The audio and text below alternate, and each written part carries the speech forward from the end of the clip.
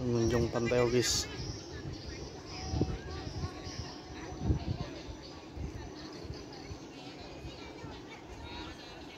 tengah main dulu ambil ya? Ya iya. situ hijau pula.